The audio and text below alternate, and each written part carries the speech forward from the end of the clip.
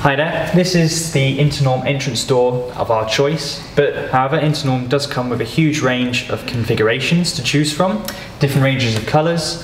handle positions, handle designs, lock systems, and it all is available on our website.